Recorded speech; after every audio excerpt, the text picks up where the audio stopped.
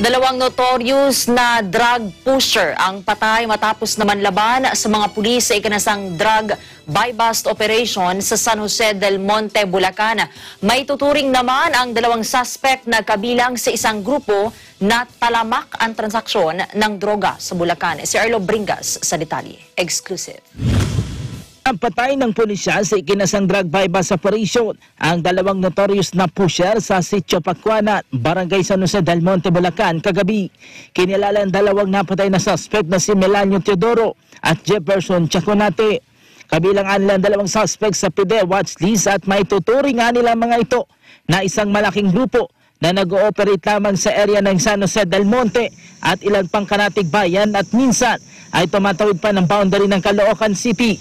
Nakaramdamaan nila agad ang mga suspect na pulis ang kanilang naging katransaksyon kaya ang resulta nauwi sa enkwentro ang operasyon. Kasama po yan sila. Identified po natin na ah, magkakasama at ah, talagang may ah, gumagalaw sila as a group. At ah, dun nga po yung distribution nila ay halos isa po yung pinagmumulan ng illegal drugs.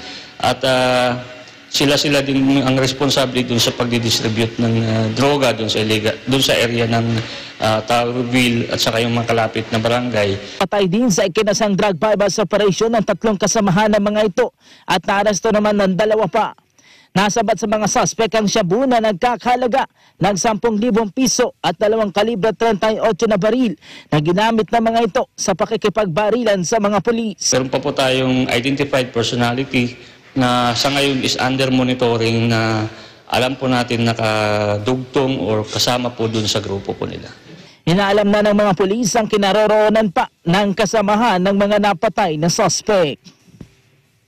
Para sa Eagle News, Earl Bingas, I am 1 with 25.